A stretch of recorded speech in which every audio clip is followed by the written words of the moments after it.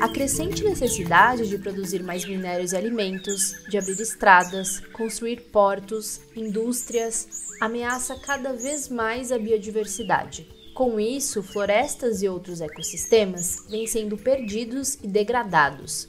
A perda da biodiversidade é muitas vezes inevitável, mas poderia ser compensada? Os ganhos poderiam ser maiores que as perdas? A compensação por perda de biodiversidade busca atingir resultados de conservação maiores do que as perdas. Vamos entender como isso funciona. Para se compensar, é preciso conhecer muito bem aquilo que se vai perder. Então, é importante saber que nem tudo é compensável. É preciso se esforçar para evitar perda. Mas para alguns tipos de projeto, evitar pode ser quase impossível, como na mineração. É aí que entra a compensação. O planejamento e avaliação de compensação deve considerar pelo menos três critérios. O primeiro deles é a equivalência. Como não há dois lugares ecologicamente idênticos, para planejar a compensação é preciso escolher áreas que tenham características similares às da área que será afetada. A equivalência busca um equilíbrio entre perdas e ganhos, isto requer medição quantitativa da biodiversidade e o dimensionamento dos ganhos compensatórios. É por meio de uma avaliação de equivalência que são selecionadas opções de áreas de compensação, considerando o tipo, a condição e importância do valor da biodiversidade afetado. Então, é necessário demonstrar equivalência entre áreas afetadas e áreas de compensação, tanto em termos de qualidade do ambiente como em quantidade. A área de compensação deve ser no mínimo do mesmo tamanho da área afetada, mas para garantir mais chances de sucesso, é comum compensar em uma área maior. O segundo critério, adicionalidade, é o mais complexo. Significa que é preciso fazer mais do que a obrigação. Proteger uma área que já precisa ser protegida por lei, como uma reserva legal, ou restaurar uma área degradada que precisa obrigatoriamente ser recuperada, como uma área de preservação permanente, não é considerado adicional. Então, como obter ganhos adicionais? Há duas formas. Uma delas é melhorar a conectividade da paisagem. Pode-se conseguir esse resultado escolhendo cuidadosamente onde se vai restaurar a vegetação nativa. Quando fragmentos de mata são conectados, o trânsito de animais, a dispersão de sementes e outros processos são facilitados e a biodiversidade ganha. A adicionalidade da compensação também pode ser alcançada por meio da proteção de uma área que poderia ter sua biodiversidade afetada por outras causas que não se relacionam com o projeto analisado, como avanço de pastagens ou urbanização.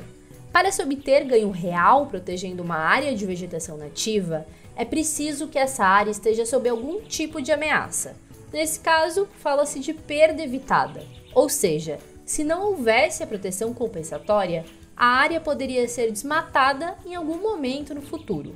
Para demonstrar perda evitada, é preciso fazer um estudo sobre as mudanças históricas da cobertura da terra na região, ou seja, em quais lugares há perda ou ganho de vegetação nativa.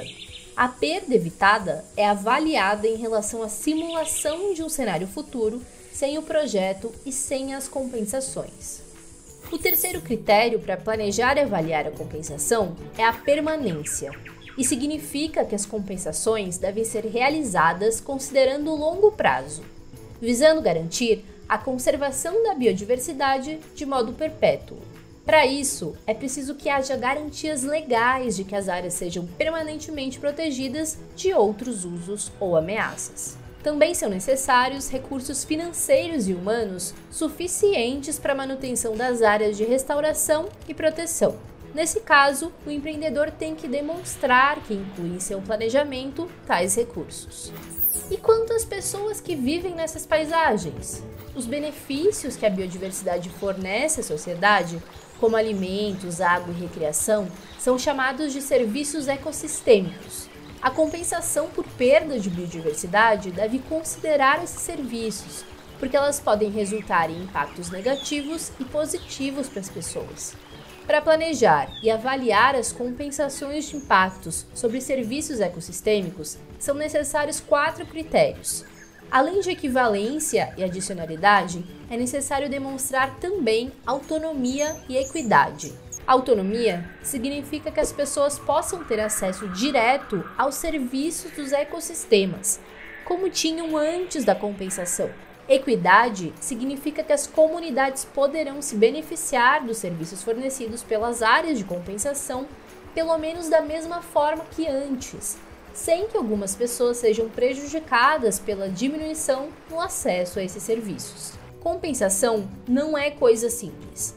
Não é só escolher um pedaço, uma área, cercar e colocar uma placa proibido entrar. Para dar certo, a compensação precisa de planejamento e acompanhamento, dispor de critérios claros de avaliação, considerar a escala de paisagem e envolver as partes interessadas e afetadas são condições fundamentais para seu sucesso.